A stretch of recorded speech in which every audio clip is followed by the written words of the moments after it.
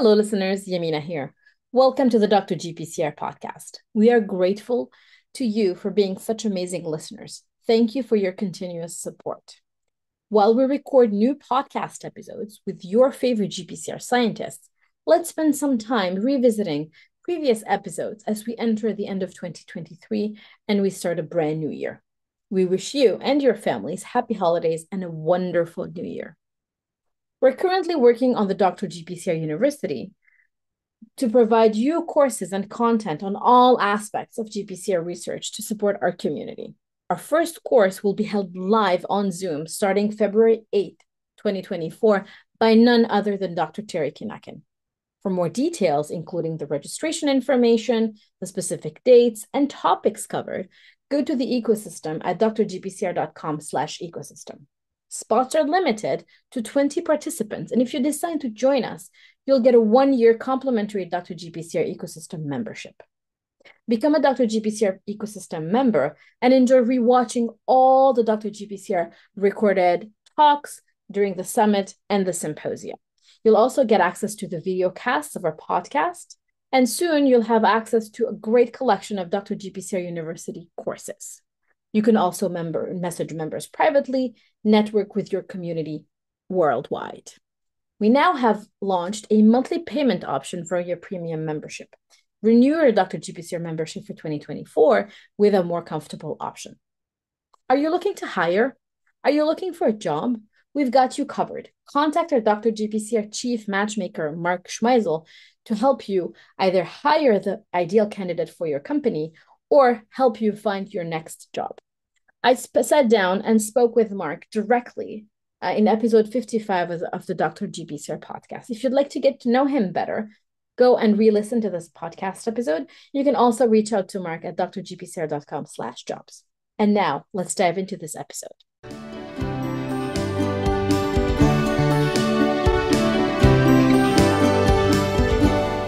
Hello, everyone. Yamina here we are recording today episode 100 of the Dr. GPCR podcast. And today I have with me many guests, which is unusual, but we are here to remember Dr. Marc Caron. And today I have with me as a co host Dr. Kathleen Caron. I'm excited to have you on on board. So, Kathleen, why don't we start with you as an introduction and then we can go around the virtual room we're in today. Great. Thank you so much, Yamina, and thank you for the this you know wonderful assembly of, of uh, colleagues and friends and, and family, frankly. Um, so uh, I'm Kathleen Caron, uh, Marc Caron's uh, eldest daughter, um, also representing our family, my, my sister Melissa and my brother Nelson. Um, and we're here today um, to have some conversations and celebrations about Mark and, and his contributions to, to our discipline. Um, and I am currently a, a scientist, for those of you who don't know, and I'm a professor and chair of the Department of Cell Biology and and physiology at the University of North Carolina at Chapel Hill, which is a large basic science department. Um, and um, uh, we're, we're all going to go through and introduce ourselves very briefly um, and, and mention when we first met Mark. Um, I met him on July 17th, 1970, um, when I was born, and shortly thereafter met many of you. And so I, I have had the pleasure and honor um, of knowing most of you almost my entire life. So it's really wonderful to have you here.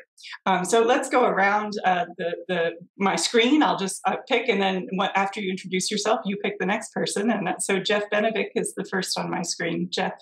Um, hi, everyone. I'm Jeff Benovic. I'm a professor in the Department of Biochemistry and Molecular Biology at Thomas Jefferson University. Uh, and I first met Mark when I did a rotation. I did my PhD at Duke University in the biochemistry program and uh, did a rotation in the fall of 1981 uh, in Bob's lab and met Mark during that rotation. And he really guided me through a lot of the work during my rotation, but then for the next eight year period uh, when I joined Bob's lab. Uh, so I'll talk more about that later. Uh, Frederick? Okay. Uh, yes, my name is Frederick Leeb-Lundberg, and uh, I'm a professor in uh, the Department of uh, Experimental Medical Science in the Faculty of Medicine at Lund University in Lund, Sweden. So, um, and I've been here since 2002, and before that, I was a professor in Texas uh, at the UT Health Science Center in San Antonio. Uh, so I met Mark uh, the first time when I came over for an interview.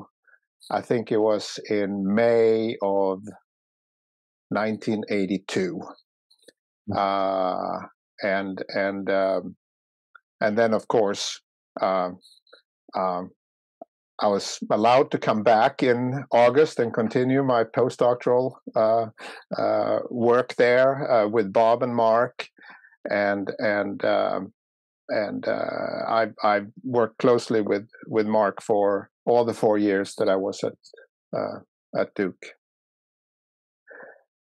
So uh, I think David, do you want to go? Sure. Um, hello, everyone. Uh, I'm Dave Sibley. I'm a senior investigator at the uh, uh, National Institute of Neurological Disorders of Stroke at, at NIH. Um, I uh, vividly remember uh, meeting Mark when I was a graduate student uh, at UC San Diego in the spring of 1979. Um, Mark was presenting a poster at the Endocrine Society meeting that was in Anaheim, California. And the topic was uh, dopamine receptor binding in the anterior pituitary gland, which happened to be the uh, topic that I was just beginning to work on as a graduate student. So my advisor, Ian Creese, and I thought we would drive up to Anaheim for the day to check out Mark's poster, which we, we did. Uh, had a very interesting discussion. Um, it actually was uh, kind of funny because we were seeing GTP sensitivity of agonist binding uh, to the D2 receptor in the pituitary gland. We didn't know what that meant because the D2 receptor wasn't supposed to be linked to adenylyl cyclase. Um, but anyway, uh, we had actually went out to lunch with, with Mark and had a really good discussion, uh, very friendly meeting. Uh, and uh, later on, I, I, met Mark again at a, a catecholamine Gordon conference and, and asked him whether or not um, it might be uh, advisable to uh, write to Bob to see if I would be uh, acceptable as a postdoc in the laboratory. And Mark encouraged me to do that. And I did that a year later. Um, and as we say, the rest is history. so, uh, Michel. Thanks, David. So, hi, everyone. I am Michel Bouvier. I am a professor of biochemistry and molecular medicine at University of Montreal and the general director of the Institute for Research in Immunology and Cancer at the same university. And I first met Mark when I came to interview with, with Bob uh, for a postdoctoral position. Bob told me there's someone here which would like to meet you. Uh, you know, as a French Canadian, I guess uh, there was some already some close links that we could make uh, one with another. So it immediately was, I would say, love at first sight. It was it was a great meeting with with Mark, and uh, and then uh, when I came with my trailer in the back of my car, moving from Canada. Uh, who was in the parking lot of the Holly Hills apartment to introduce me to my apartment that he had rented for me was Mark. So, and from then on, we had an incredible good relationship. Uh, during my stay in, in, Bob's lab, I have fun memory of the meetings in, in Bob's office, you know, brainstorming about all kinds of things. And then when I returned to Canada, it was, of course, very helpful in many instances. And we kept a very close uh, friendship throughout the years. So let's go with the, the next one Rick Cerione. I am uh, Rick Cerione, aka Rocco. I um, I uh, am a professor in chemistry and chemical biology at Cornell, and I first met Mark in uh, 1982 when I came to uh, interview for a postdoc with Bob, and um, you know Bob was telling me that uh, Duke was going to be great in basketball again, and Mark uh, told me he could get me uh, season tickets to Cameron, which he did, and so that sold the deal, and um, and this everyone says the rest is history. oh, sorry. Um, who's um, Bob? yeah. So my name's Bob Lefkowitz, and uh, I'm a professor of medicine and biochemistry at Duke. also an investigator of the Howard Hughes Medical Institute. Uh, I guess Kathleen's the only one on the call who's known Mark longer than myself. Uh, Mark joined my lab in the summer, I'm going to guess August, I might be off plus or minus a few weeks, August of 1973. And he had in common with several other people on, on the call, at least uh, Brian and looking around Lee. Uh, these were all postdocs in my lab who, to the best of my recollection, I never met face to face before the day that they actually walked into my lab to work. And each one of those is a story which we may or may not get to uh, later on. Uh, and uh, that's basically uh, basically my story. Uh, let's see uh, who hasn't spoken yet. I guess Lee, Brian, either one. Go, Brian. So yes, I was uh, a cardio. Uh, so I'm Brian Kobilka. I'm a professor of uh, molecular and cellular physiology at Stanford University. Um, I met Mark in 1984, I believe it was in February. I was a, a resident in internal medicine, looking to become a cardiology fellow at Duke, and uh, I was particularly interested in Duke because it had a, a research option and so I was interviewing uh, potential labs in, in 1984. Uh, and I went around to a number of labs and I was uh, warned against the Lefkowitz lab.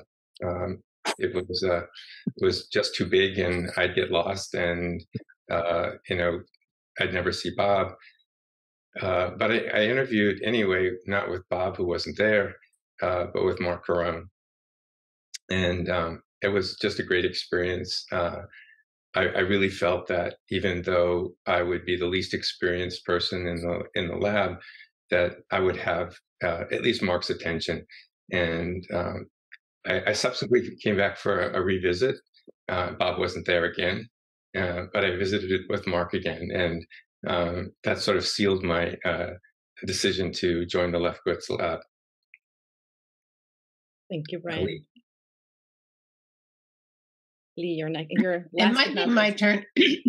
so my name's Lee Limbird, and after retiring as a faculty member at Vanderbilt, I find myself at a small liberal arts, historically black college, Fisk University in Nashville. And I met Mark in the summer of 1973. I think Bob's right, it was August, because Mark was wise and came after all the boxes had been opened. I was Bob's first postdoc. So anyway, so for me, um, my experience was Mark, and we'll share more later, is sort of an extended family member because my PhD work had been highly clinical. And so, even though my degree's in biochemistry, frankly, I learned many of the fundamentals from biochemistry uh, from Mark. But we, more than that, we had gaboodles of fun.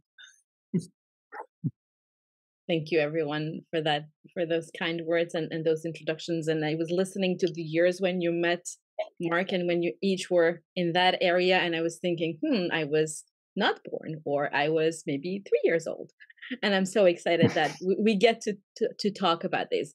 So let's go around the room again. And you've all told us when you first met Mark, and you've known him for a very long period. And as as Bob mentioned, Kathleen, you're you're the most experienced there. I want us to talk a little bit about what do you think, in your opinion, or how do you think Mark influenced the GPCR field? So, Kathleen, I'm gonna let you go first, and then we can go do the same thing and, and pick the next person. Oh, thanks. Well, that's a that's a really lofty question. it is possible to to to put uh, to sum up, but um, you know, it, to me, this this is how he influenced the field. It's all of these people. You know, it, it, there's you can talk about the single discoveries and you know the dopamine receptors or beta arrestin or, or you know the, these things are discoveries and their science, but really it's the it's the community and it's the the, the scholars and the just the, this family of people that have been built uh, that that really create an entire discipline. Um, and and just keeping that, you know, we we have three podcasts coming because there's epochs of, of people. You know, it's just it's really remarkable um, to see the the expansion of lives that are touched and um, you know the, this just continuously effusive positive enthusiasm to pursue science you know with with your whole heart and just um, you know that's something that i think uh, my father taught many of us um, and and it's just so it, it, every corner of the world um, has trainees from you know lefkowitz and Caron lab um, that, that have been touched and motivated and continue to be um, by that inspiration so so to me it's not a single paper or a single molecule or a single drug. Um, it, it's really, you know, building uh, th- this community of people. Thank you, Kathleen. So, before, please, uh, before we go around, I just wanted to mention that I think that's that's such a such a great answer, and just to be, pre- be to attest to that impact. So you mentioned three podcasts. We, with your help, Kathleen, we came up with a list of thirty people, and out of those thirty people, everyone agreed to come and join us for these three episodes and i think that says a lot um in in that and for that impact bob i'm sorry i didn't want to interrupt you yeah so to me uh, mark impacted several fields at several different stages of his career. But to me perhaps the most important one was during the first 10 years uh, when we worked very closely together. At that time, there was no such thing uh, as a biochemical approach to studying drug and hormone receptors. It was not a biochemical field of study, it was a field for the physiologist. And so here you had Mark, a freshly minted PhD, and me knowing relatively little about biochemistry. Uh, and we sort of cooked up this plan to try to identify receptors and study them biochemically for which there was no precedent. Uh, and uh, I think our relative youth, and I would point out that I Mark was only three years younger than me. Uh, when he joined the lab, I was 30 and he was 27. Uh, I, today, I have very few postdocs who are that young. Uh, so we were kind of fearless. And I remember vividly attending a meeting in 1974. Uh, I could have been in Vancouver. It was certainly it was in Canada, in the Pacific Northwest. Uh, it was the international cyclic AMP meeting, uh, and we had just developed the, the alprenolol binding assays. And I remember we were uh, really very high on the whole thing. Lee uh, was at that meeting. Uh, Rusty Williams came as well and Mark. I think those were the three people from my lab, and that was a good part of the lab. There weren't many other people in the lab at that time. And I remember sitting uh, together, uh, the uh, the four of us, on a bed in my room or one of the rooms, and just sketching plans. And we talked about our excitement about thinking that now that we had a ligand binding approach, we could actually go after it. Uh, and we sketched a vision together for about the next 10 years of work uh, you know, how we would solubilize the receptors, uh, somehow purify them, God knows how, uh, and uh, maybe figure out how to reconstitute them, et cetera, et cetera. We didn't look much beyond that uh, in 1974. Uh, but to me, that was one of the most important ways in which Mark influenced everything that came thereafter namely that you could study membrane proteins uh, like receptors uh, as if they were biochemical entities. And that was that was completely new. That had never been done before. Bob. Lee, how do you remember this meeting? How do I remember it? Yes. I don't know if I remember that conversation or think tank at the same time, but I do remember uh, that this was during the window of time where even back at Duke, the, the current, the chair of physiology at that time, didn't believe receptors were molecules. He it's true. He would have conversations with you like, why are you spending your life on that? Because it's it's a mood. It, it the the drug interacts with the or the hormone interacts with the cell and then it just changes its mood. You're so right. uh, or something you know. Like that i um, uh, oh sorry lee no, no. I uh, I just because I had a similar experience, and it was in 1982 or three. I mean, all even all those years later, Bob and I were in Italy at some meeting, and you know, Bob, you know, he was so enthusiastic about, you know, we were gonna, you know, do the greatest science ever, and uh, all these British scientists get up and say there's no receptors. And uh, you know, I was supposed to be like reconstituting a receptor. Then, and I, you know, now I'm starting to panic. And when I got back to Duke, I see Mark and I said, Mark, these guys don't believe in receptors. And he goes, Rocco, you're an Italian. I'm a French Canadian. Are we going to listen to a bunch of boring Brits? we push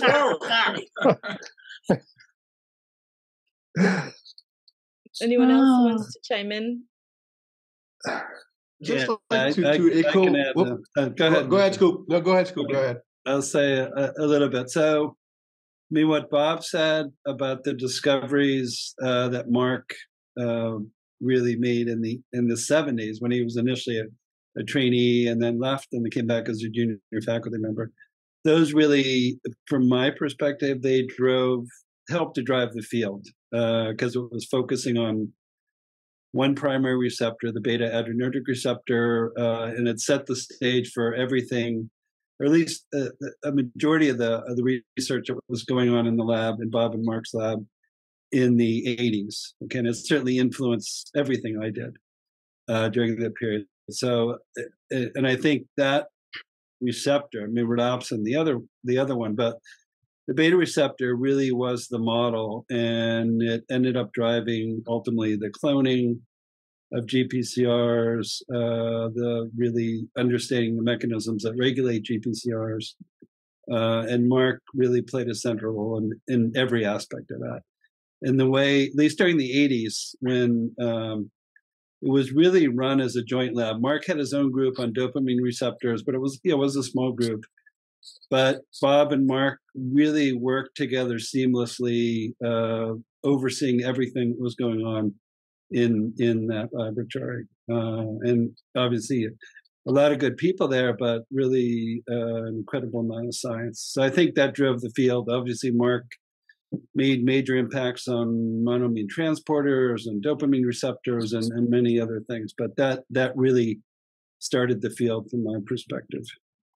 Yeah, I just want to jump in and say that was one of the reasons why I, you know, wanted to come to Bob's lab was, um, you know, the the purification uh, techniques, especially the affinity chromatography uh, approaches, uh, really was what what drove the field at the time, as as you've all, all, said. But I remember a paper. I think it was it was Robbie Shorr was the first author in JBC. It was purification of the frog erythrocyte beta receptor, 1981 or something like that uh, which was a phenomenal piece of biochemistry. And I thought that, you know, this is where I want to do a postdoc. Um, and uh, of course, when I got there, Jeff was working on the uh, mammalian uh, purification work. So, um, yeah, really phenomenal. So just you like to echo some of, of what Kathleen has said to begin with, and I'll come back to some of the science after, but I think the impact that Mark had on the community is, is tremendous not only the one that he touched directly because he was working with them in the lab or, or, become collaborator later, but in meetings, what, what always struck me from Mark in meetings is he was asking very good questions. But not only was he asking very good questions which were insightful, he was doing it always in a way that made the person who was giving the talk or presenting the poster look good.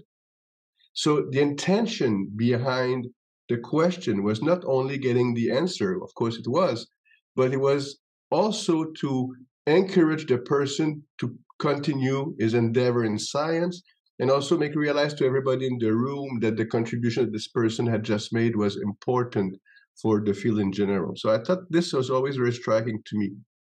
And the other thing I'd like to say, which is also I think quite unique to, to Mark, is that Mark not only had influenced his own research program, but I'm sure Bob would agree. It had a major influence on Bob's research program simultaneously. So these two things, of course, started in Bob's lab, but then you know he maintained the relation, a very close relationship with Bob's lab, and having his own research activities. And that was mentioned on the transporters, the dopamine receptors.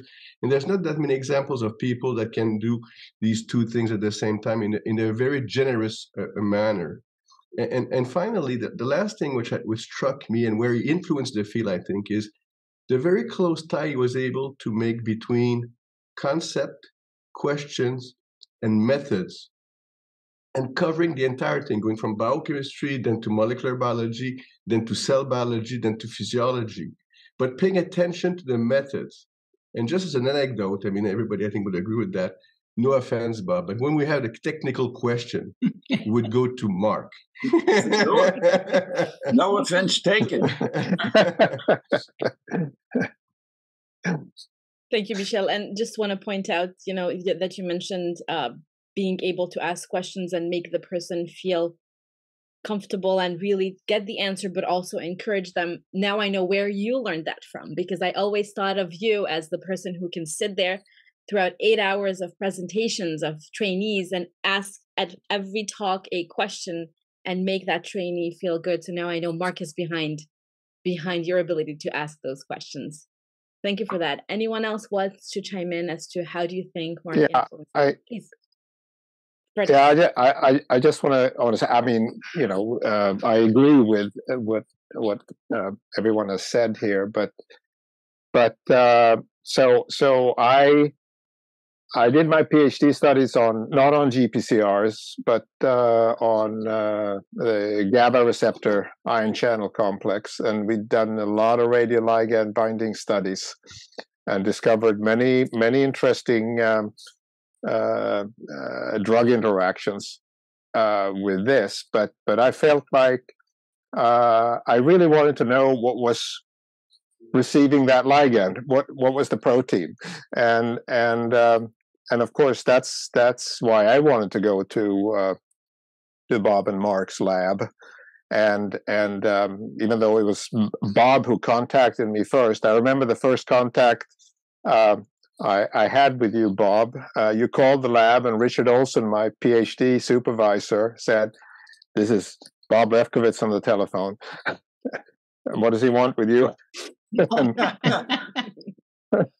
And, and, I said, "Oh my God!" And so so anyway, uh, so it was uh, you you. Uh, it, it was a very friendly introduction to your group because you said, "Hi, Fred," and and uh, anyway, that was before I met Mark. But then I I, I joined the group, and uh, there are many things that um, I think we're going to talk about later. Uh, that's in segment two and three here. Uh, but I do want to say that uh, Mark. Um, he's a remarkable. He's an experimentalist. He's very good experimentalist.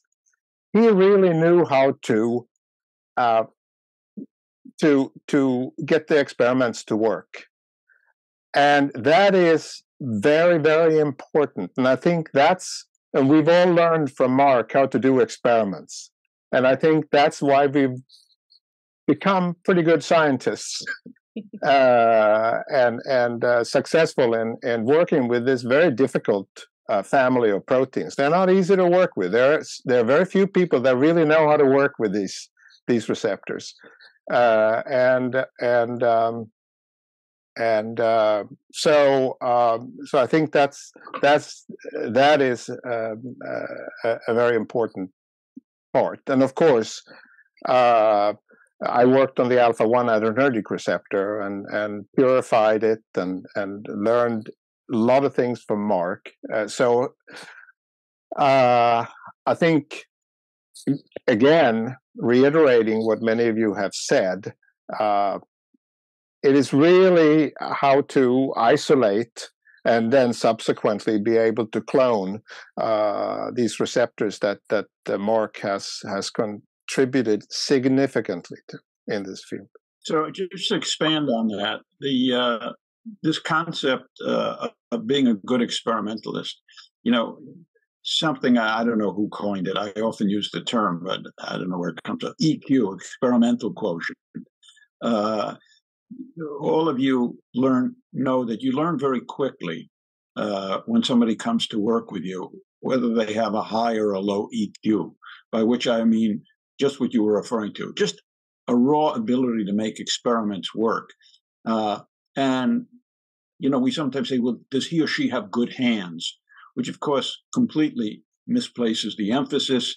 The hands are controlled by the head, uh, and being a terrific experimentalist is not a matter of uh, you know how good your hands are. But Marc had a very very high EQ and a very uh, an amazing ability to translate a question into just the right experiment, which is another whole art unto itself. Uh, the other thing I, I just want to point out about Marc that was uh, such an important thing on the impact he had on all of us was something he shared with me, which was uh, the power of belief. Uh, from the beginning, neither he nor I ever really seriously doubted that we would succeed in all the major goals that we took on one by one. I think the only moment of doubt uh, that I had in my whole career uh, was later on during the cloning phase, when I think for the first time Brian pulled that out of the fire. Uh, but other than that, no, no matter what we encountered, I mean, Marc and I always believed it was just a matter of time. It wasn't a matter of whether we would get a radioligand. It was just when. It wasn't a matter of whether we could solubilize it, just a matter of when. It wasn't a matter of whether we could develop an affinity. I mean, at every stage of the game, he was totally in, uh, as was I, in terms of that belief. And I think that belief is something he would transmit uh, to others. And again, I think when my belief would uh, waver, he'd get me going, and vice versa. and I think all of us, you know, shared that uh, sense of ultimate optimism, even when things look bleak, you know, day to day, week to week, even month to month, or in some cases, year to year. Thank you, Brian. Uh, thank you, Bob. Brian, you had a. Please feel free to interrupt each other. It's really a and as interactive as you want it to be. Uh, Lee, you raise your hand first, and Brian, you one second. so I was going to follow up, well, on all comments really, but Marc, uh, Michel Bouvier specifically. One of the things that made working in Bob's lab so wonderful early on is that the field was highly competitive there were people like Levitzki in Israel who found joy in trying to suppress everyone else and find the fault in their experiment instead of the strength. And then there were there's a crowd at the NIH who had similar joys. But Marc was always in the lab and in that microenvironment, non competitive in a highly competitive field. That was, you were, it didn't matter that we weren't doing the same experiments. He was my cheerleader. I think sometimes I was his cheerleader. And uh, he was always supremely helpful. So I still, I don't know if you can see this little sucker. So I still keep this on my desk this is a cut off 12 by 75 plastic tube with a wire wrapped around it and masking tape that Marc made for me because scooping out one gram of alumina for each of a 100 cyclase columns, he thought could be automated at least a bit. and so I just keep that treasure to remind me of the of the sheer joy of working with Marc. I mean, we had some funny 2 a.m. cold room stories too, and maybe we'll get a chance to get to one or two, but I doubt it. But but I think that uh, his ability to find the positive, which lifted you up and made you keep banging your head against that proverbial brick wall, was was really unique. Definitely want to hear about those 2 a.m. Uh, cold room stories. Uh, Brian, please go ahead. Yeah. So, you know, as I mentioned, when I came into the lab, I was, you know, very inexperienced. Ultimately, uh, became part of the cloning team, and the lab had no expertise in cloning at the time. And I, I, made a few trips to Marc to to learn basics. But when I came back, um, Bob gave me the the go ahead to try to set up the cloning lab, and it, we made so many more, so many um, sort of stupid mistakes uh, in in the in our effort. And I would, after every failed experiment, would would go to Marc, and um, even though he, you know, he wasn't a, a, a, trained molecular biologist, he always seemed to be able to come up with um, this the right approach to the next experiment. And what I think I really learned from Marc uh, then and, and, subsequently was how to how to troubleshoot. Uh, you know, invariably experiments will go wrong, uh, but if you don't understand why they went wrong, then they were a complete waste of time. And um, I, I, just remember, you know, I was uh, getting good counsel from Marc in terms of you know planning experiments that he you know really uh, wasn't necessarily an expert in, but he knew how to solve problems, and uh, uh, I, I, thought that was a, you know, a, a, particularly important trait as an experimentalist. You know, another thing that relates to that that was characteristic of Marc. Uh, was his adventurousness and what I call technical courage. Uh, what Brian says is true. Uh, the lab had never done molecular biology before. But the fact of the matter is, we had never done anything that we did before. I mean, none of us had ever done any. Marc had never done any of that. I mean, uh, you know, we'd never purified a receptor, developed a radioligand, developed the affinity chromatography. Uh, none of it. Uh, and then came the cloning, which was sort of the next thing that none of us knew how to do. Uh, but uh, you know, with people like Marc, Brian, and the rest of the group here, uh, somehow you figured it out. Thank you, Bob. Anyone else, please, Fred? Yeah, yeah. I just want to say one thing. Uh, another thing, and I don't know what segment it falls into, but but uh, when, the segments. I'm thing, sorry. Just want to mention the segments are not important. This was just to give you an idea. So any anecdotes you have, anything you feel like talking about, any 2 a.m. cold room stories, please feel free. Don't don't inhibit yourselves. Uh, anyway, I just wanted to mention, uh, uh, of course, we were also iodinating um, uh, the radioligands that we were working with. I worked with HEAT, uh, so we were making I-125 HEAT, and and we were in there. And then Marc came in, and he started to iodinate also. And I said, Marc, you know, why are you in here? You're not, you, you know, sort of, you're sort of the supervisor here.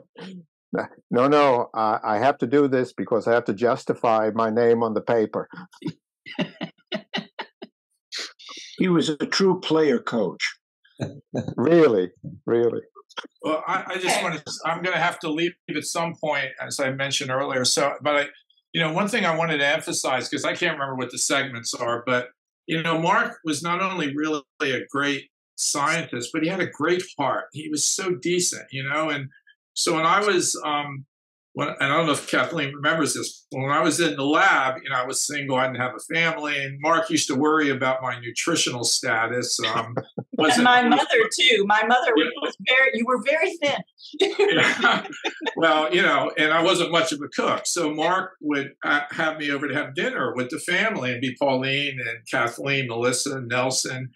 But you know, Pauline always had vegetables and I wasn't much of a vegetable eater, and it was always broccoli. You know, and I really didn't like broccoli, you know. So, you know, I had a few dinners, and um, and then you know, Marc would say, "Well, you want to come over for dinner tonight?" And I'd say, "I don't know." I'd come up with some excuse, and he goes, "Rocco, why don't you want to come for dinner?"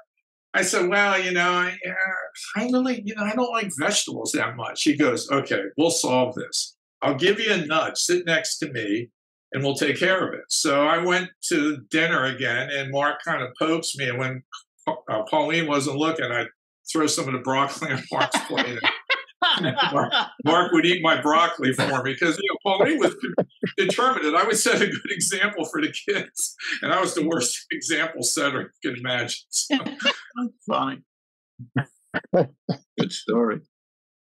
So I think uh, looking at some of the other prompts, um, I, one of the ones that, that I think would be great is to throw out some some adjectives, um, and and that's related to sort of the top three qualities um, and and that, that you could think of. And and I'll share some, you know. So dad was a great dad, right? Um, and but I'll share with you some things that kind of transgress between his family life and, and his work life. Um, in, in my th- my three things, um, the the work ethic, and many of you have spoken about this. You know, uh, 2 a.m. was the norm. Um, and uh, so it, it, was routine in our family life that dad would come back home around 5.30 my mother upset because the dinner's getting cold and we would eat as a family with, and, and rick would join us and, and we'd sit and, and you know have dinner as a family and then every night invariably it never failed dad would go back to work and go back to the lab and there were some nights, especially in the summer, that that we would uh, go to the Duke Faculty Club. There, it was there was a swimming pool, and so the you know the three of us were there. And there are many, many nights when Dad, on his way home, would forget us there. You know, to, to the great discouragement of the manager of the Duke Faculty Club, because there were these three children. You know, just abandoned. You know, the lights are the lights are going off in the parking lot, pitch black and we are just there and, we're, and, we just said no it's fine he's still in the lab it's he'll be here eventually you know and so so this was kind of our life you know that the, the lab came first and and not that we didn't but you know we understood and and we were raised with this remarkable work ethic of the importance of you know that contribution and, and, and being in lab and, and you know dedicating oneself to work so work ethic was something that that that mark really uh, nailed really well um, and and Rick has talked about you know the the human the human aspect, just the just being a human. And uh, you know, to me, I look at all of you, and you know, as as Marc's daughter, I I know your personal lives. You know, I, I know your children, and and um and, and this is because Dad taught me these things. You know, and and so I we know you and, and the, the epochs of people through the lab um, personally, and and that's because Dad didn't view the postdocs and the students and as, as you know factories, but rather human beings and people. And, and I think bringing that level of humanity um, to science and a very competitive field is really important. Um, and then he was humble. You know, he didn't like the attention. He would be blushing right now if he knew we were doing this. Um, he, he, you know, very, very humble um, and and always ready to give you know the credit to others. Um, and and I think that that's something that he shared with us, his children, um, you know, to lift up others. And uh, but any if any others have you know three qualities or adjectives that you might think of that, that would... I just want to give you another vignette on the uh, work ethic uh, thing. Just another vignette that uh, I'm sure you'll appreciate.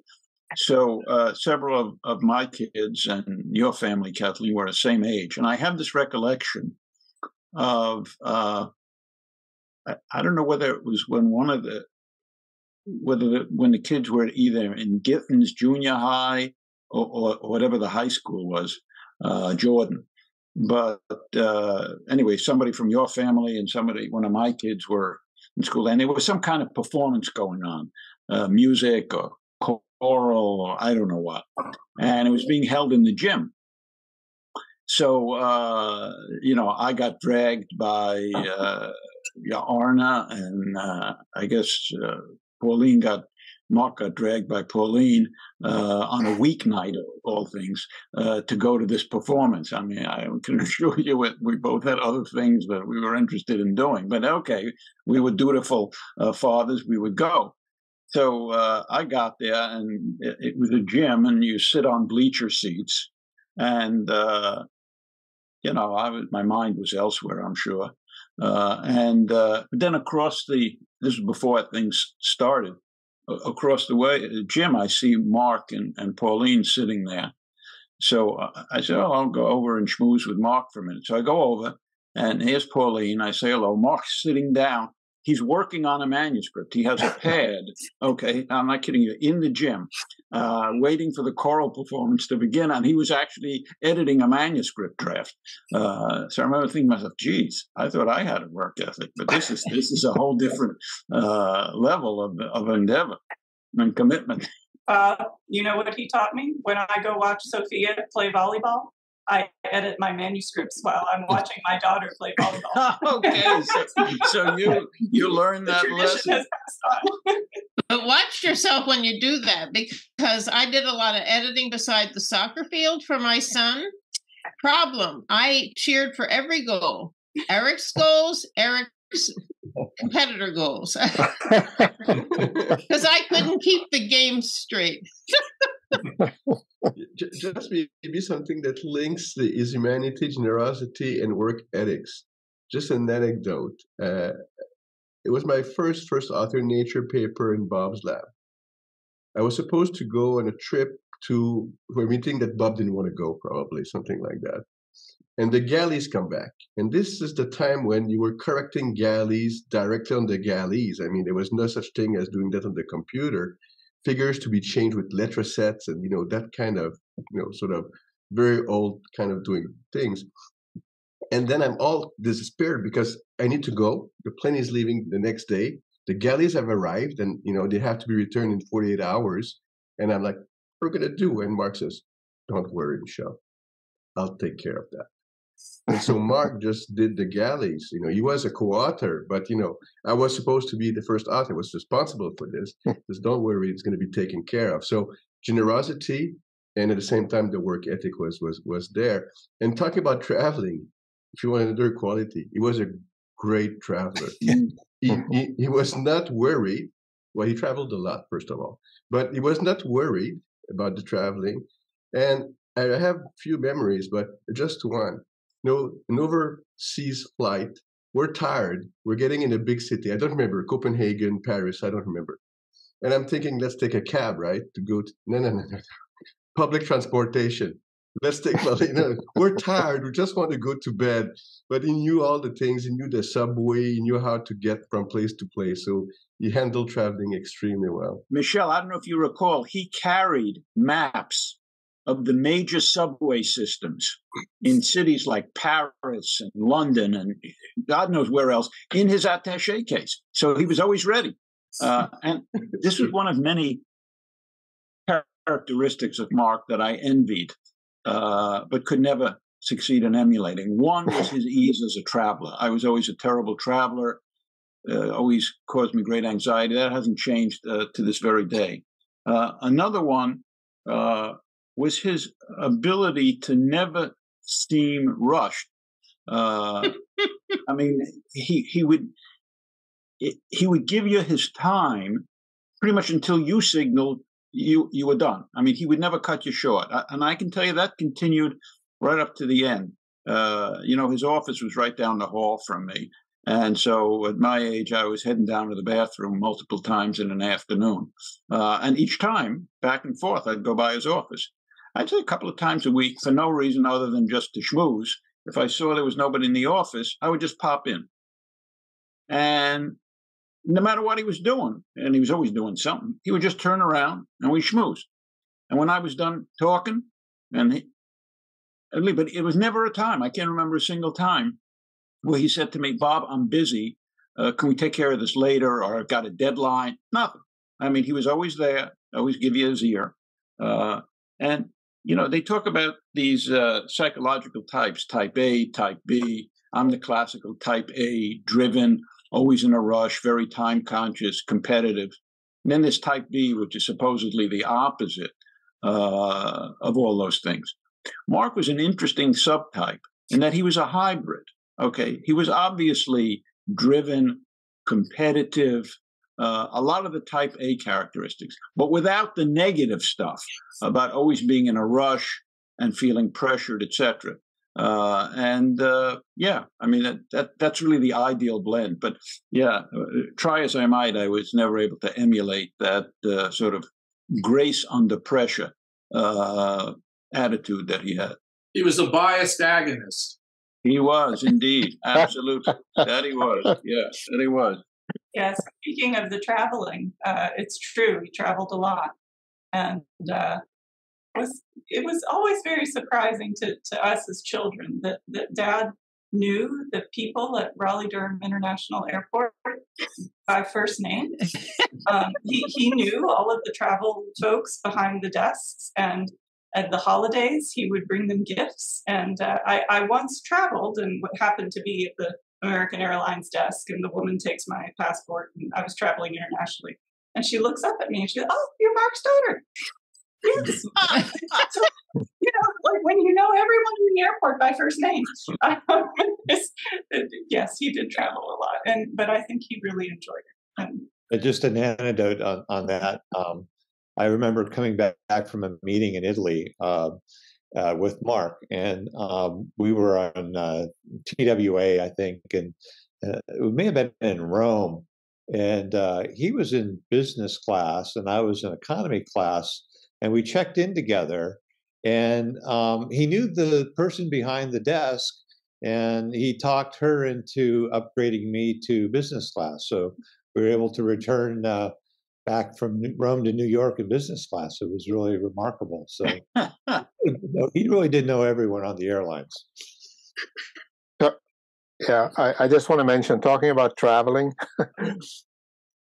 um, and and it's something related to the trust he had uh, in us, uh, and and uh, I have to tell you my personal experience, and that was when when Marc and Pauline went to Japan uh, on a long trip. I think it was for a month.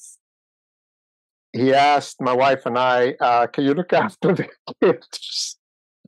so uh, we last.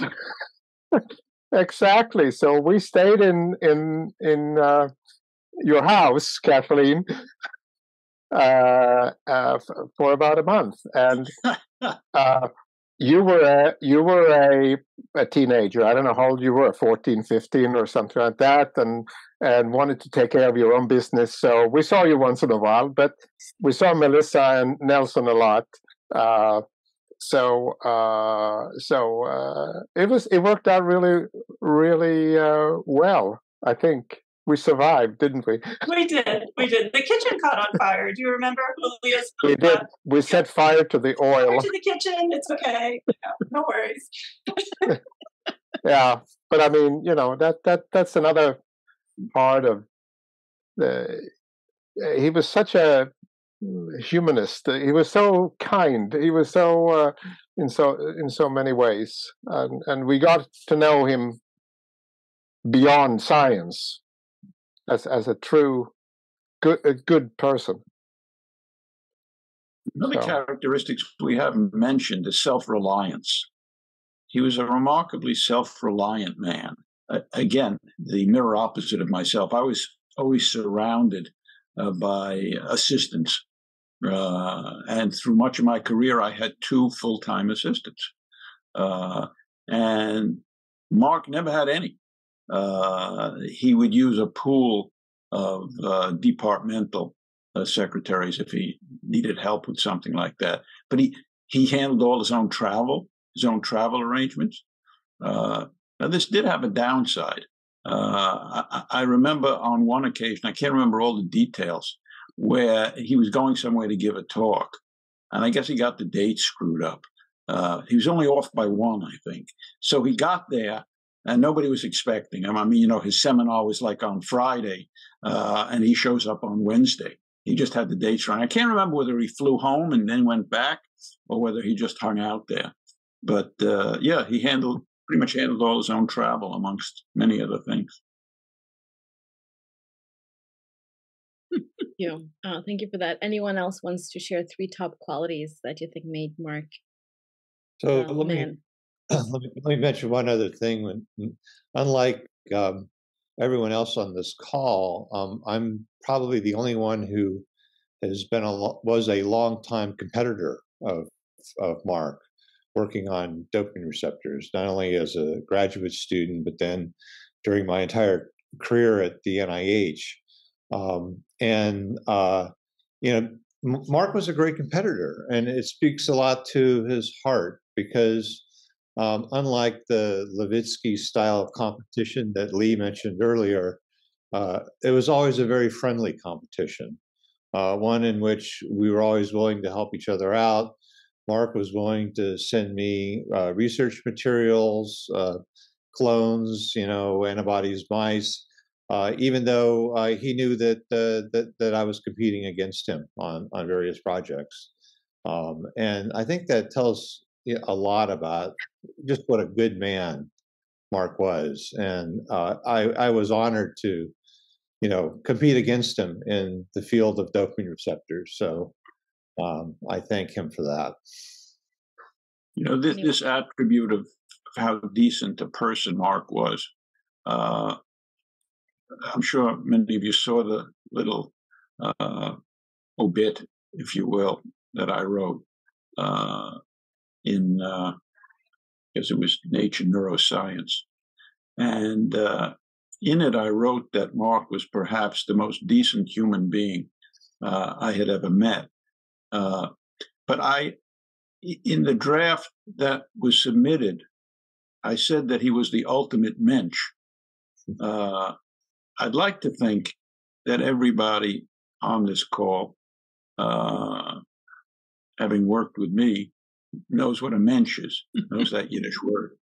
But the editor took it out. She said that uh, she was concerned with the international readership uh, of nature journals, that there would be uh, people from a variety of cultures who would not understand the word mensch. I couldn't really argue that point until the term was deleted. Uh, but amongst us, I would just say he was the, the most ultimate mensch uh, that I ever had the uh, privilege to know. Okay, great. Yeah. So let's um, segue a little bit into a, another uh, question or another prompt, if you will, um, to tell us about a time when Marc played a key role in your success. Um, and I, am putting, I, I, can't put myself on the spot right now because it's basically my whole life um, in, in, so many ways. Um, you know, as, as a mom and uh, just a scientist and a good human being. I, I hope I try. Um, I try to live up to to, to that example. Um, but um, Jeff, do you, do you have want to kick us off on something? Sure. Putting you on the spot. yeah, sure. Or anything else that you're more comfortable yeah, with? No. Well, so when I when I joined the lab, uh, my project that was given to me was purifying the beta receptor from the immune system, and obviously I ran into a number of problems. Uh, Marc was always there. The initial problem was was uh, receptor appeared to be proteolyzed. Uh, and actually, the only way that we figured that out was because there were uh, development of photoaffinity ligands for the beta receptor, which allowed us to label the receptor and then run it on gel and see there were multiple bands. And um, there was kind of this um, thinking a little bit by other labs that maybe these were different isoforms, and so we we met with some of the people in the biochemistry department uh, and uh, really decided that we should try to uh, that was likely due to proteolysis inhibit the proteolysis, uh, and ultimately we're able to to get it down to one single band. Uh, from different species, and it was uh, Marc really played a central role in, in all of that. Uh, and ultimately, that allowed us to to feed that purified receptor into, you know, Rick's work with reconstitution and into the cloning, which, uh, well, to get amino acid sequence, then ultimately Brian took over the cloning aspects. So, with without Marc's really expertise at every step of the way, uh, I don't know that I would ever have been able to to successfully purify the receptor. Um, so it, it was really critical in the early in the early work. And I guess Brian, you were you were part of that as well. And how how did that transition go? Well, so I, I was uh, so I was as, as I mentioned a, a, cloner, not a purifier. Mm-hmm. Uh, but um, I, after after the cloning w- was successful, and I I remember just trying to figure out what what I would do next, you know, what what I could contribute, and uh, I was kind of um, intimidated by the purifiers. Uh, uh, actually, they, you know, what they were doing was much more challenging, and um, and I just remember talking to Marc about you know options, and I really was interested in understanding how these proteins work, but I had no you know just the thought of of, of trying to become a, a purifier and, and actually uh, do structural biology was sort of daunting. And I remember a couple conversations with Marc where he really encouraged me not to just stay in my comfort zone, um, and I, that I needed to, uh, uh, you know, if I really wanted to do something uh, that would, you know, contribute something new to the field, I couldn't just continue to do what what I was doing. I, I would have to learn new techniques, and and you know, on several occasions, he really helped me uh, both.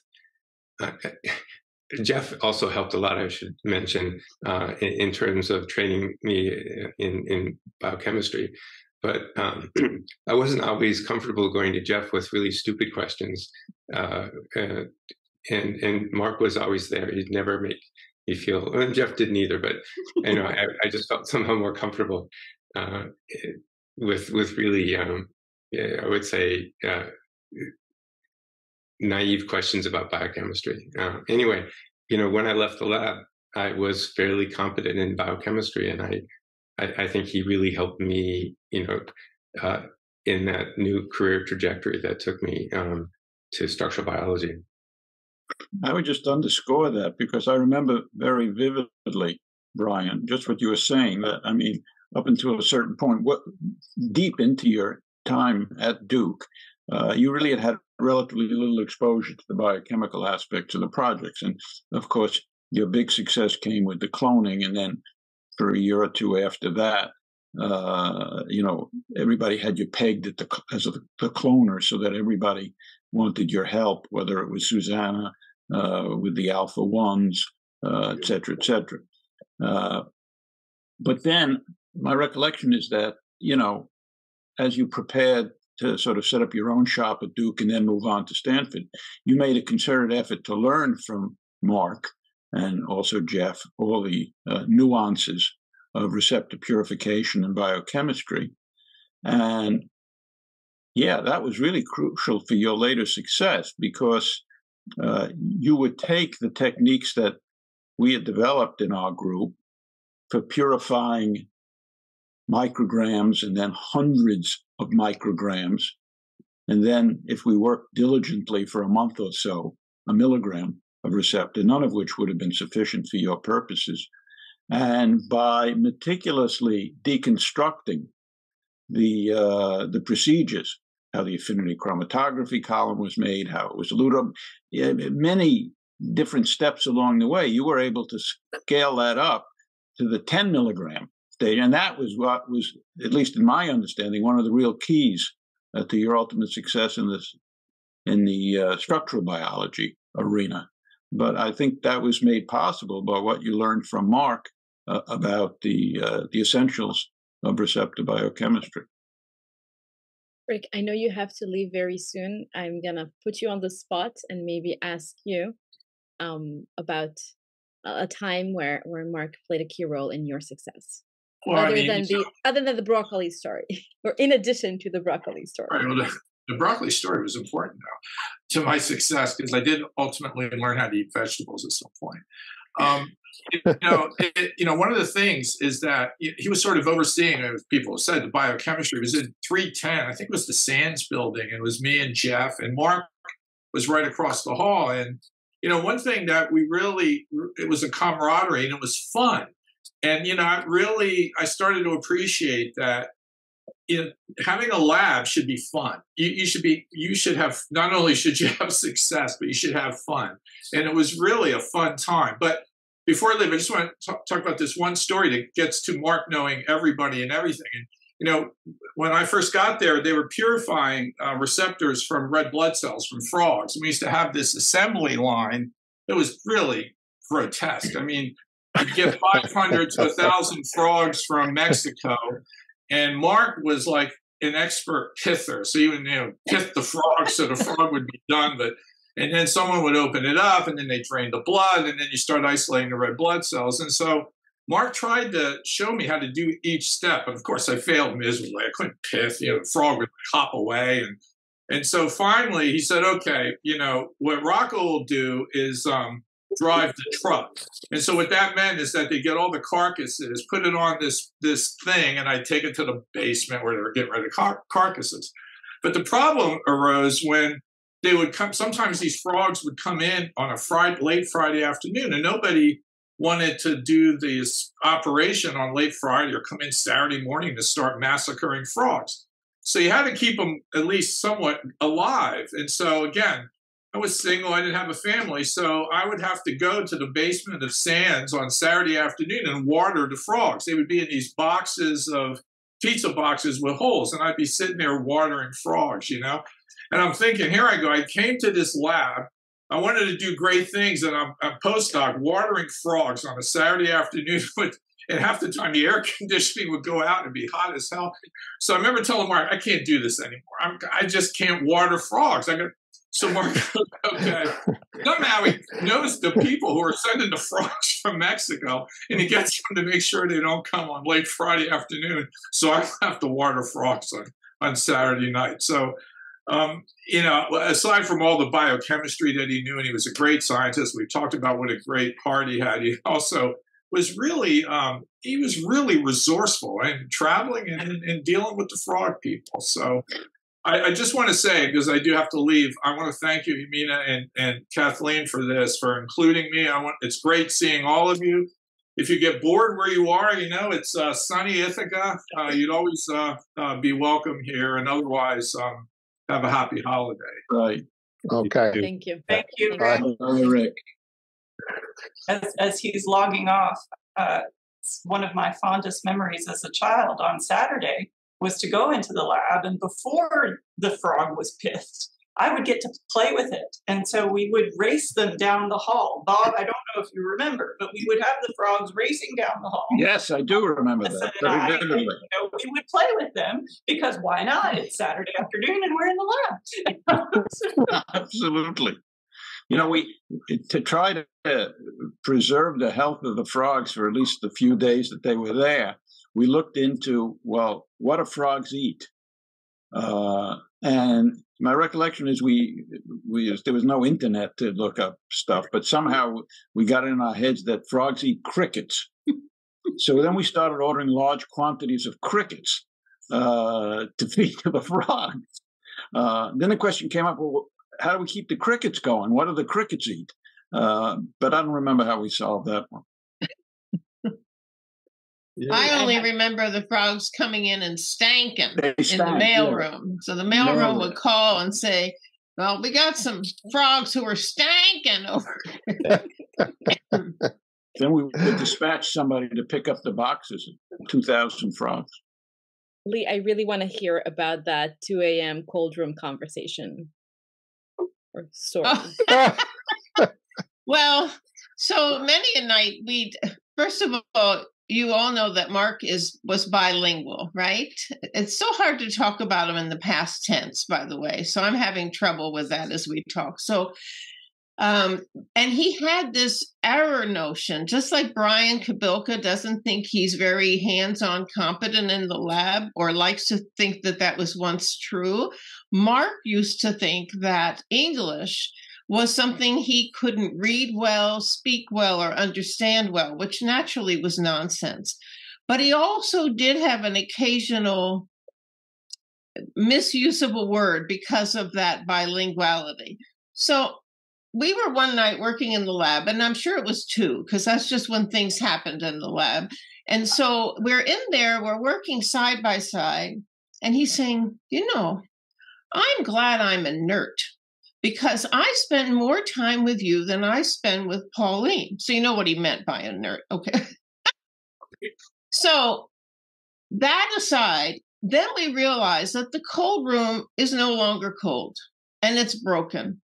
So before it occurs to us to go and borrow without his permission in the middle of the night Pat McKee's cold room next to ours, we decide we know how to make a cold. This is when resourceful goes wrong. So we go get styrofoam boxes full of dry ice from down the hall. And I guess we forgot the CO2 part of dry ice. So about 10 minutes in, we're looking at each other thinking, we do not feel good. We really do not feel good. so, inert Marc and I then took our columns and moved him next door to Pat McKee's Pat McKee's office. But uh, Marc was just fun.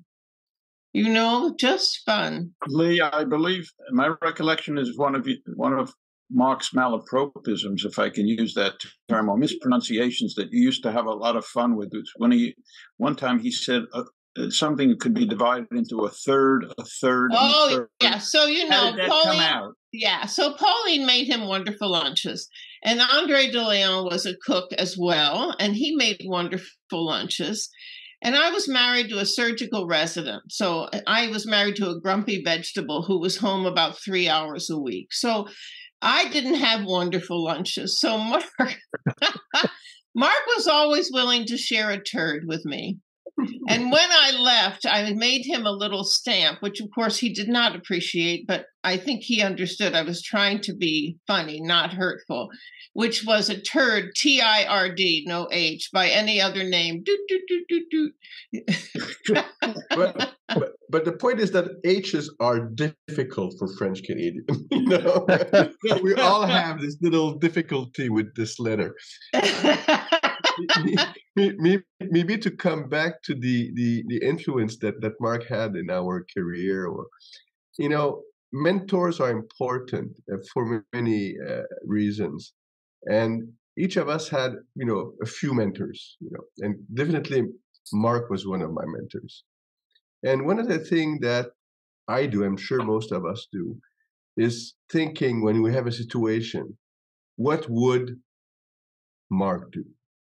You know and and and that's one way by which Marc was mm-hmm. extremely important for me because in particular when i had a postdoc where a student was spinning his wheels right? Clearly it's not working for some reason. And and Marc being what we said before trying to always to find the good side into the people you know i was thinking what would Marc do with a guy like this which you know nothing is happening and I was thinking, well, maybe it's because it's the wrong project. And I know Marc would think that way, would say, oh my God, maybe it's the wrong project for this person. And if we would switch the question, maybe he could address it. And I must admit, I tried that a few times. And it worked some of the times, mm-hmm. not always, but it worked some of the time. So yeah, the influence that Marc had just in thinking, what would he do in such a circumstance, was certainly for me a very important aspect of how I was able to succeed in whatever I succeeded. Thank you for that. Anyone else wants to add anything? I think it's a great segue, Michel, to the last but not least question we have here. What should junior scientists know about Marc, in your opinion? And we can go around the room. Kathleen, I'm gonna hit put the spotlight on you, and let's start with you, and mm-hmm. you can we can go from there. Yeah. Uh, what should junior scientists know about Marc? Well, so many things um, you have to love science. You have to love it with you know every bone in your body, and it just you have to. It, it's a love affair of you know seeking and, and that quest for the truth and for uh, you know new techniques and always being on the cutting edge and you, you just have to be inspired by that and wake up every morning excited um, for that next challenge and and that's how you keep yourself young and it's how you keep yourself enthusiastic you know because it's hard and the, you know the, we've talked about all the successes but my goodness how many failures right? I mean how many failures? And so you just it's having that effusive enthusiasm that just it has to be at your core. Um, and and though I, I think uh, you know dad was good at identifying those people who have that passion, you know, and, and who just have that that love for science. Um, and, and so I think that's an important lesson for junior scientists. you have to love what you're doing every single day, yeah. even even when it's hard, right? And even when it's failing, you have to love that process. So. Of course, this is where the mentoring thing comes in. So what, what Kathleen describes is experiencing one's work as a calling. That is a, a, sense that you are really destined to do whatever it is you're doing.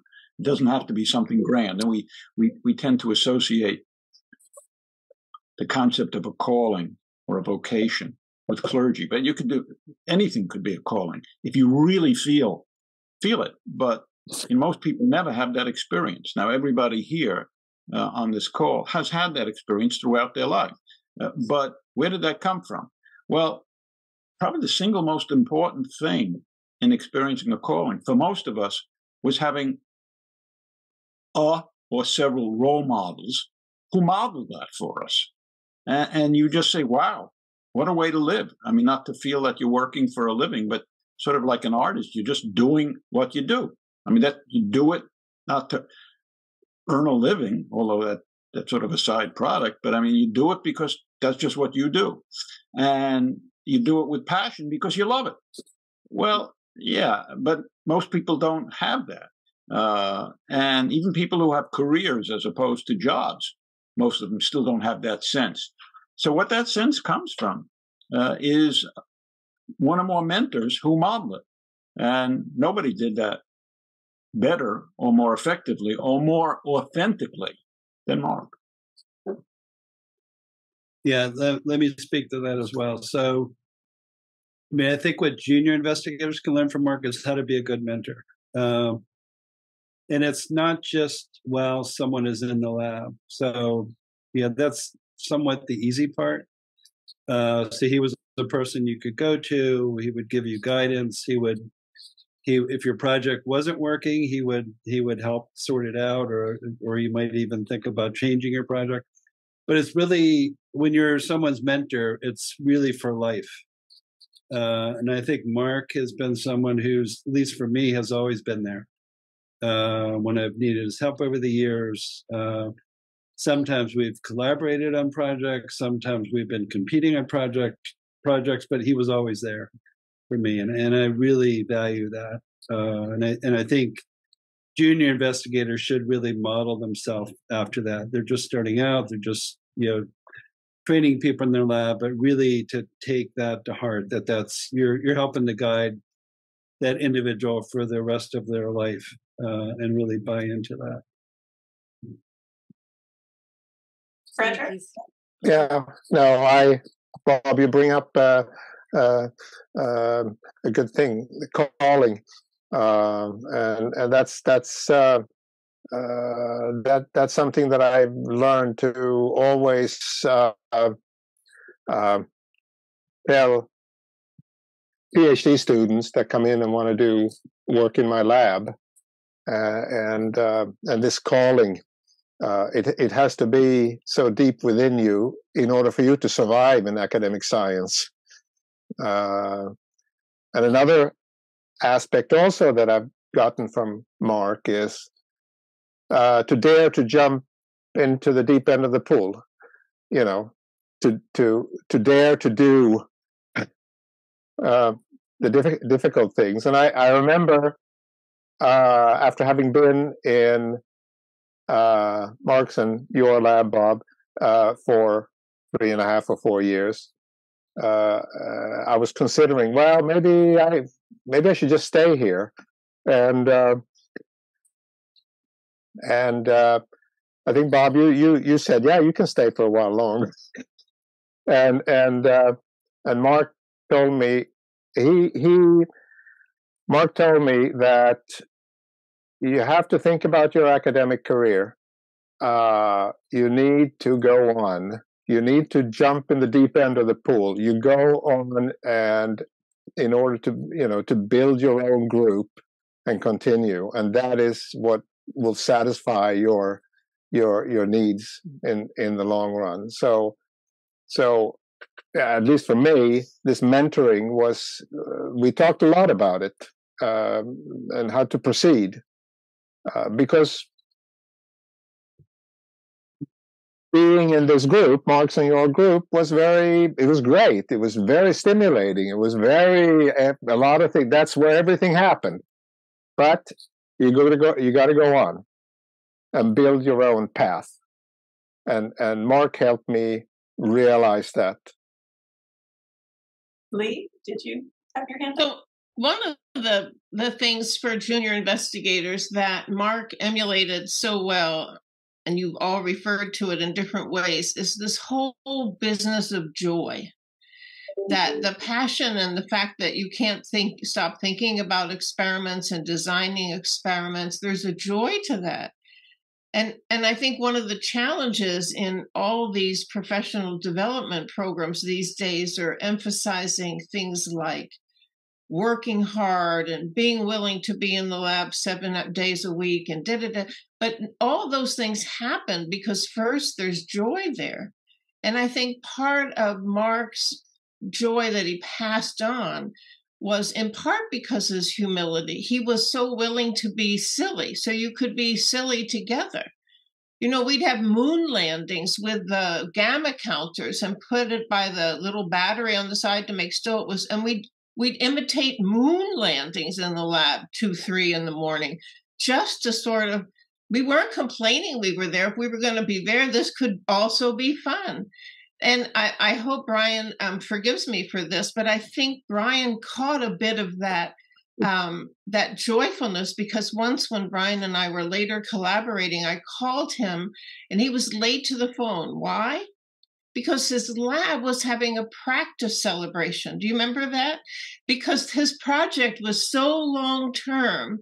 Brian was smart enough to not wait until the end, right?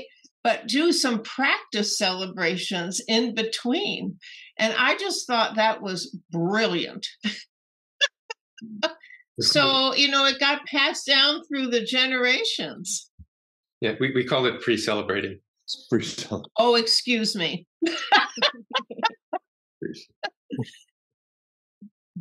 Brian, perhaps you can tell us a little bit more about how did the pre-celebration uh, tradition uh, came to be in your lab?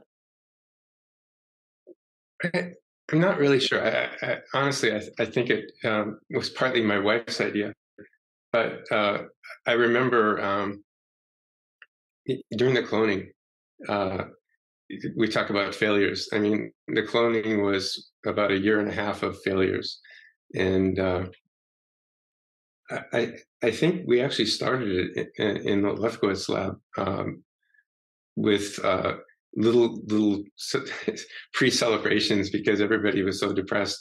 Uh, we would um, we would get hits, uh, you know, on our our uh, our our screens and you know, we'd work them up and they turned out to be, you know, nothing. Um, but uh, yeah, so that's all I can I can really remember. Um, it might have dated back to the the Lefkowitz uh, years, and I would often say that uh, during those uh, bleak times, uh, when uh, when we were failing, I would we would frequently get visits from both Bob and Marc, and I don't know whether they did it as a tag team, but um, they sensed the mood was was um, not so good. they would come in and sort of shoot the breeze and um, you know try to help us troubleshoot, and then uh, you know, we felt a little better. Maybe next time we'll get it. Yeah, keeping spirits up is uh, something you really need to do in, in the laboratory because, as we all say, it's it's mostly failure most of the time. Uh, so an optimistic spirit uh, is certainly, and Marc was great at that, or at least transmitting it. Uh, you don't have to feel optimistic in your heart to act optimistic to your trainees. We all know that, uh, and then, but that's very important. And Marc was very good about that. Continuing on the theme of joy, yeah, continuing on the theme of joy. Uh, you know, so because it's hard, it cannot be fun. But the the the one thing uh, I, am not a jealous person I at all ever. But once I experienced a little bit of jealousy, and this was when the again the galleys, the galley story again. But the galleys came back for the nature cloning of the beta two receptor, and here they were, Marc, Bob, and Brian, and maybe there was somebody else, but at least the three of them were in Bob's office with scissors and cutting pieces of the galleys from the nature paper and pasting things that they had printed out some on some other piece of papers, trying to get the galleys out within I don't know 12 hours, whatever ridiculous time frame that they had. So on the one hand, it looked like it was ridiculous, right? These grown up, you know, cutting paper pieces and sticking them onto each other. But then they were having a lot of fun, and I felt, you know, I was just across in the in the lab, just across Bob's office, and they were laughing and they were cutting and they were stitching things. And I thought, I'm missing on something, you know, something is happening in this office. And clearly there was a lot of joy involved in this. Clearly. Well, you know, another story, uh, very much of the same piece, but relates to the same tale, was uh, when the cloning was finally successful. So we were coming down the stretch. We were in this big race. We didn't know when this other group uh, it was probably well, probably was the single most intense collaboration uh, uh, competition I ever remember in my career, and we were competing with the group at Genentech, which were the world's experts in cloning. We had no experience, uh, and so we were collaborating with the group at Merck, and Brian was leading the effort uh, here at Duke. And uh, as I recall, it came down to the fact, you know, we both groups were working on the uh, sequencing of uh, genomic clones, uh, which were intronless as it turned out, and which would have the whole open reading frame that we needed. And we were sort of coming from two different ends, and we re- we kind of reached an impasse where there was a, a region of Brian remember better of so many base pairs that that, that uh, they just couldn't get at uh, at Merck, and so we, we couldn't complete the sequence. Uh, and then Brian had some crazy ideas about using ungodly amounts of radioactivity, or I don't remember what. Uh, but so he, he worked on it. And I remember I went home for dinner and he was going to read the uh, whether or not he was able to connect up. And then he called me to say, Yeah, uh, we got it. We got the whole thing now. So uh, I immediately said, Okay, I'm coming in. I came in, Marc came in and Brian was there, and we we had there was a main collaborator at Merck uh, named Sigal Richards. Uh, was it Richard? Irving. Ir- Irving Sigal, right? Who tragically died in the Pan Am uh, bombing, uh, not, not, that many years after. So here we were, the group of us in the in my office, and we it was in the evening. I'll say nine o'clock. And so we called Merck uh, to try to tell Irving Sigal. Of course, he wasn't there. In fact, the only person who was there was like a night watchman.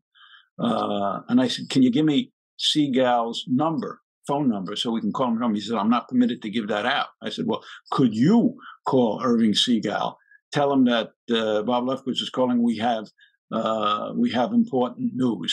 And then the, the four of us sat there, you know, all at Twitter waiting. And sure enough, Sigal called. And with great drama and excitement and celebration, we told him. But yeah, that was the, the kind of thing. I mean, that, that camaraderie, that spirit that we all shared, uh, and, and just sort of appreciating that moment for, for what it was. Well, great discoveries and great teamwork.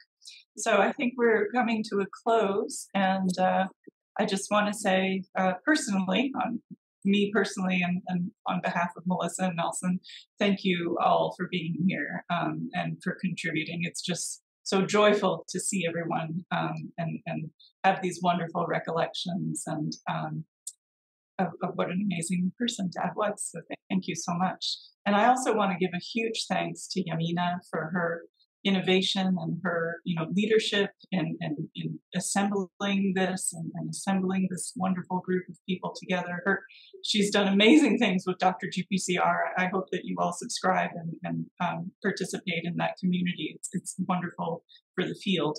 Um, and so, Yamina, thank you for bringing us together, and thank you to all of you for your sharing uh, joy and, and happiness and, and fond remembrances. Thank you, Kathleen. Thank you, everyone, for being here. And I was while you were all talking about the stories, the two a.m. cold room. I remember. I it just took me back to the times when I was working in the lab, and I really enjoyed that time. And it was difficult. It was hard. We went from dopamine rush to dopamine rush, and the time between the two dopamine rushes was undetermined. Sometimes years in between. And thank you, everyone, for sharing all your stories, for taking the time, Kathleen wonderful uh, to have you on. Thank you for helping with this project.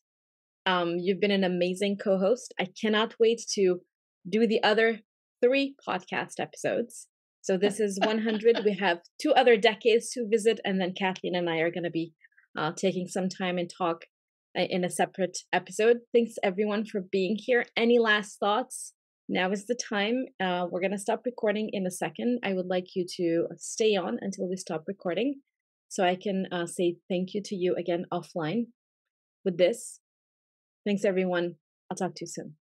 Thank you for joining us and listening to this Dr. GPCR podcast episode. We thank our guest, our Dr. GPCR team members, Attila, Ines, Montserrat, Ivana, Andrein, Valid.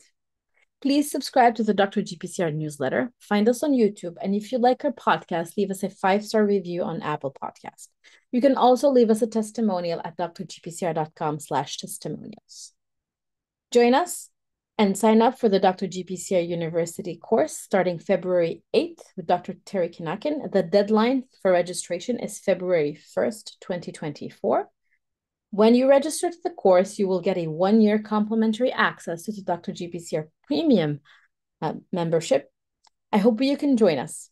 Another great way to support us is to share your favorite Dr. GPCR program with your network and colleagues. Email us with any questions or suggestions at hello at drgpcr.com. Until next time, stay safe.